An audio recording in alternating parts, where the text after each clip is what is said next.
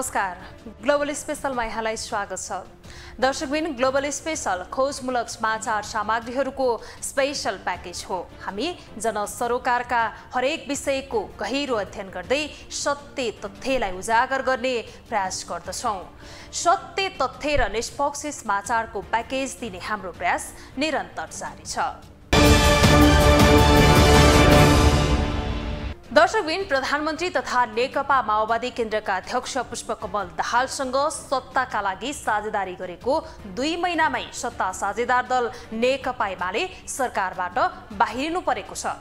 सोमबार बिहान बसेको एमालेको सचिवालय बैठकले सरकारबाट बाहिरिने निर्णय गरेपछि एमालेका मन्त्रीहरूले प्रधानमन्त्री पुष्पकमल दाहाललाई सोमबार नै राजीनामा बुझाएका छन्।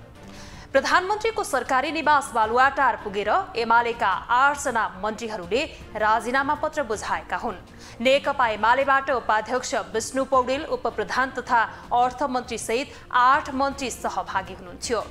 राजीनामा दिने अन्य मन्त्रीहरूमा परराष्ट्र मन्त्री डाक्टर विमला राई पौडेल भूमि सुधार सहकारी तथा गरिबी निवारण मन्त्री राजेन्द्र कुमार राई कृषि मन्त्री ज्वालाकुमारी शाह महिला बालबालिका तथा ज्येष्ठ नागरिक मन्त्री भगवती चौधरी उद्योग वाणिज्य तथा आपूर्ति मन्त्री दामोदर भण्डारी स्वास्थ्य तथा जनसङ्ख्या मन्त्री पदम गिरी र रक्षा मन्त्री हरि उप्रेती छन्। पुस एघार गते सरकारमा सहभागी भएको एमाले दुई महिनापछि सरकार छाडेको हो।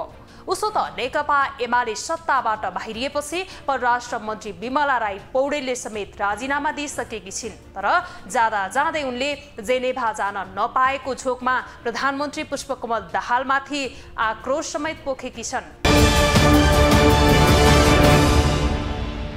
प्रधानमन्त्री तथा नेकपा माओवादी केन्द्रका अध्यक्ष पुष्पकमल दाहालसँग सत्ताका लागि साझेदारी गरेको दुई महिनामै सत्ता साझेदार दल नेकपा एमाले सरकारबाट बाहिरिएको छ। सोमबार बिहान बसेको एमालेको सचिवालय बैठकले सरकारबाट बाहिरिने निर्णय गरेपछि एमालेका मन्त्रीहरूले प्रधानमन्त्री पुष्पकमल दाहाललाई राजीनामा बुझाएका छन्। दाहाल सरकारमा एमालेबाट आठजना मन्त्रीहरू थिए।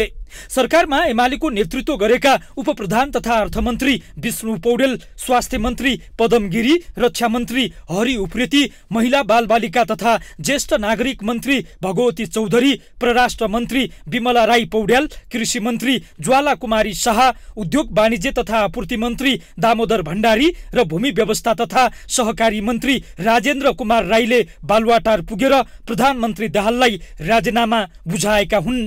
एमाले प्रधानमन्त्री पुष्पकमल दाहालले पुस दस गतेको भद्र सहमति तोडेपछि सत्ता छोड्ने र समर्थन फिर्ता लिने निर्णय गरेको बताएको छ। जुन प्रकारको सहमति भएको थियो त्यो सहमति कार्यान्वयन गर्नुको सट्टा सहमति अनुरूप अगाडि बढ्नुको सट्टा सहमति कार्यान्वयन गर्न नसक्ने त्यो अभिव्यक्ति प्रधानमन्त्रीले दिँदै आउनुभयो। र अन्तत वास्तवमा त्यो सहमतिभन्दा पृथक ढङ्गले अरू दलहरूसँग सहमति कायम गर्दै चाहिँ राष्ट्रपतिको उम्मेदवारमा नेपाली कङ्ग्रेसलाई चाहिँ समर्थन गर्ने चाहिँ त्यो निष्कर्षमा उहाँहरू पुग्नुभयो। यसअघि पुस दस गतेको सहमति अनुसार राष्ट्रपति आफूले पाउनुपर्ने अडानमा रहेको एमाले प्रधानमन्त्री दाहालले राष्ट्रपतिमा काङ्ग्रेसलाई सघाउने निर्णय गरिसक्दा पनि सत्ताबाट बाहिरिएको थिएन। राष्ट्रपति चुनावमा माओवादीले आफ्ना उम्मेद्वारलाई सघाउने एमालेको अपेक्षा थियो।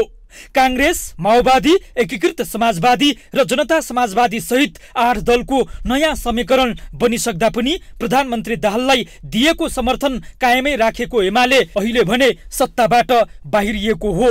एमाले प्रधानमन्त्री दाहाल आफ्ना मन्त्रीहरूमाथि कठोर हुन थालेपछि सत्ताबाट बाहिरिनु परेको बताएको छ। परराष्ट्र मन्त्रीलाई जेनेवा जान रोकेपछि आक्रोशित बनेको एमाले प्रधानमन्त्री दाहालले आफ्ना मन्त्रीलाई हटाउने तयारी गरेपछि सरकारबाट बाहिरिनु परेको बताएको छ।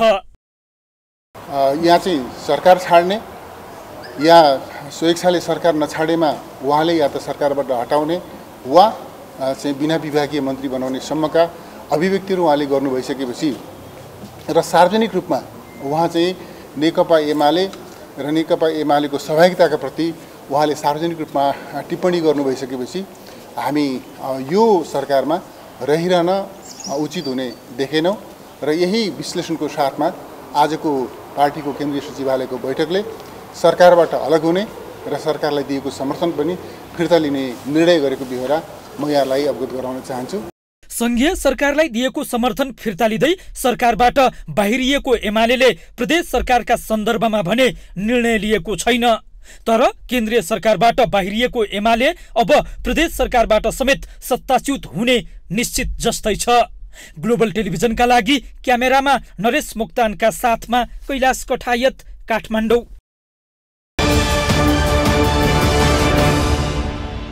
नेकपा एमाले सत्ताबाट बाहिरिएपछि परराष्ट्र मन्त्री विमला राई पौडेलले राजीनामा दिएकी छिन् तर जाँदा जाँदै उनले जेनेभा जान नपाएको झोकमा प्रधानमन्त्री पुष्पकमल दाहालमाथि आक्रोश पोखेकी छिन् सोमबार राष्ट्रिय सभाको बैठकमा पौडेलले आफूलाई जेनेभा जान किन नदिएको भन्दै प्रधानमन्त्री दाहाललाई प्रश्न समेत गरेकी छिन्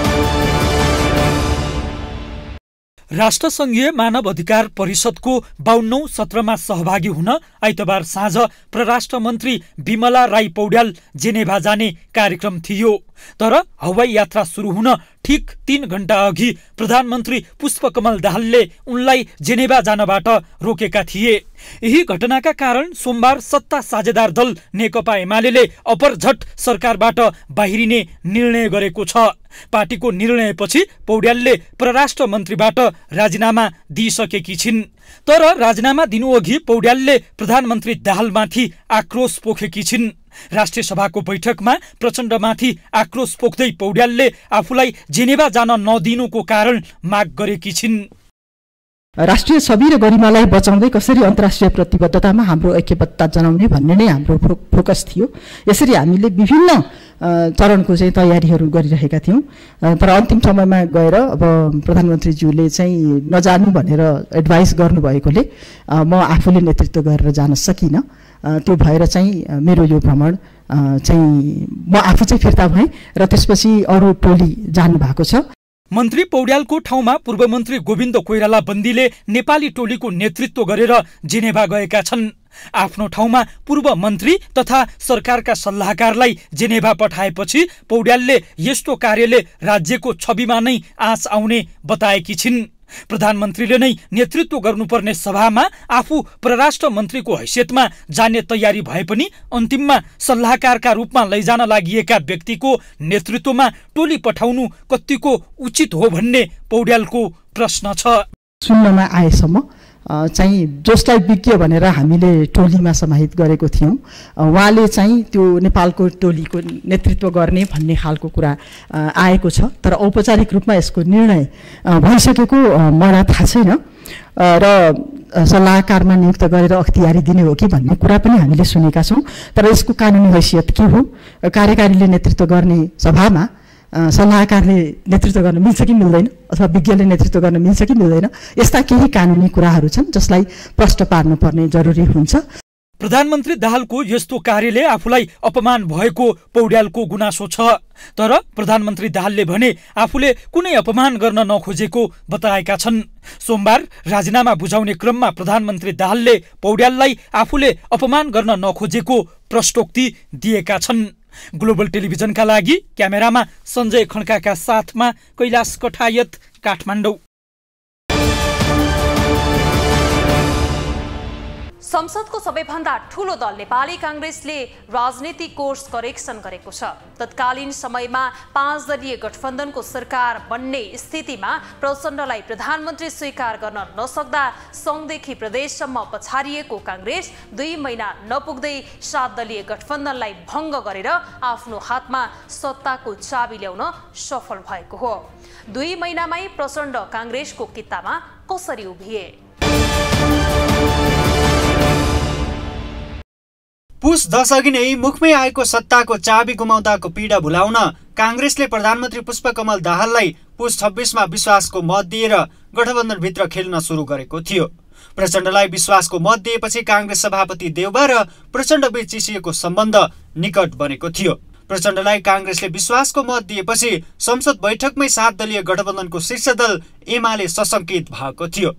संसद बैठकमै एमाले अध्यक्ष केपी शर्मा ओलीले काङ्ग्रेसले विश्वासको मत दिएर ढोक्सा थापेको आरोप लगाएका थिए। अन्ततगत्त काङ्ग्रेसले प्रचण्डलाई ढोक्सोमा पार्दै राजनीतिक कोर्स करेक्सन गर्न सफल भएपछि एमाले यति बेला नराम्ररी पछारिएको छ। सत्तारूढ सात दलीय गठबन्धनभित्र राष्ट्रपतिका विषयमा विमति देखिएपछि यसअघि नै राजनीतिक कोर्स करेक्सन हुने आशंका गरिएको थियो। पुस दसको भद्र सहमति अनुसार एमाले राष्ट्रपति सभामुख र बाँकी दुई वर्ष प्रधानमन्त्री पाउने अडान एमालेको थियो।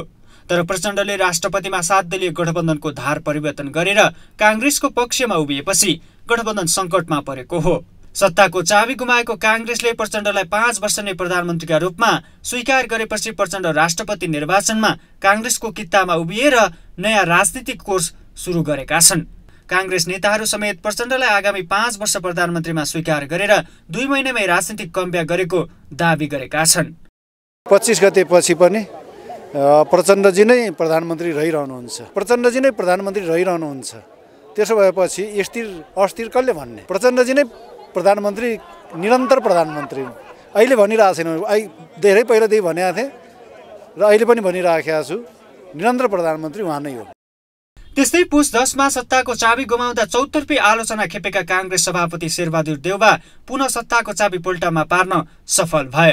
काङ्ग्रेस नेताहरू समेत सभापति देउबा र प्रधानमन्त्री प्रचण्डको निरन्तर संवादले कोर्स करेक्सन महत्वपूर्ण भूमिका रहेको बताउँछन्।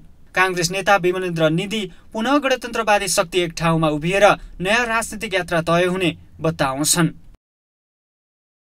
काङ्ग्रेसले अहिलेको अवस्थालाई बुझेर कोर्स करेक्सन गरेको छ। म यसलाई नेपाली काङ्ग्रेसले कोर्स करेक्सनको अवस्थालाई रियलाइज गरेर यो कोर्स करेक्सन गर्यो र फेरि प्रचण्डजीसँग शेरबहादुर देवा र नेपाली काङ्ग्रेसको निरन्तर सहकार र समझदारी भएपछि यो राष्ट्रपतिको चुनावको बेलासम्म आएर आज फेरि हामी त्यही जुन शान्ति प्रक्रियालाई पूर्णतामा अझ केही बाँकी छ यद्यपि तर मूल निष्कर्षमा पुर्यायो जुन शक्तिहरूले र परिवर्तनलाई जुन शक्तिहरू मिलेर सम्भव बनायो त्यो शक्तिहरूको बिचमा फेरि एउटा समझदारी भएको छ।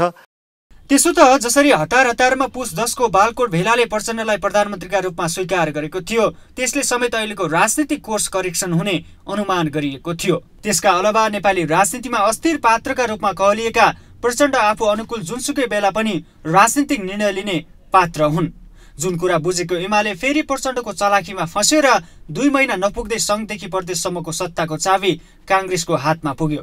ग्लोबल टेलिभिजन एचडीका लागि क्यामेरामा सञ्जय खड्काका साथमा विनोद विक्रम भण्डारी काठमाडौँ। दर्शकबिन सङ्घीय सरकारलाई दिएको समर्थन फिर्ता लिँदै सत्ताबाट बाहिरिएको एमाले प्रदेश सरकारका सन्दर्भमा भने निर्णय लिएको छैन। तर केन्द्रीय सरकारबाट बाहिरिएको एमाले अब प्रदेश सरकारबाट समेत सत्ताच्युत हुने स्थिति निश्चित बनेको छ। त्यसो त जसरी हतार हतारमा पुस्तसको बालकोट भेलाले प्रचण्डलाई प्रधानमन्त्रीका रूपमा स्वीकार गरेको थियो त्यसको समेत अहिलेको राजनीतिक कोर्स करेक्सन हुने अनुमान गरिएको थियो। त्यसका अलावा नेपाली राजनीतिमा अस्थिर पात्रको रूपमा कहलिएका प्रचण्ड आफू अनुकूल जस्तो सुकै बेला पनि राजनीति निर्णय लिने पात्र हुन्।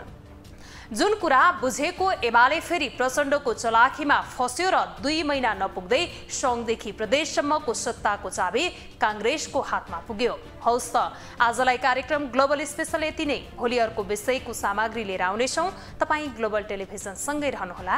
नमस्ते। Thank you.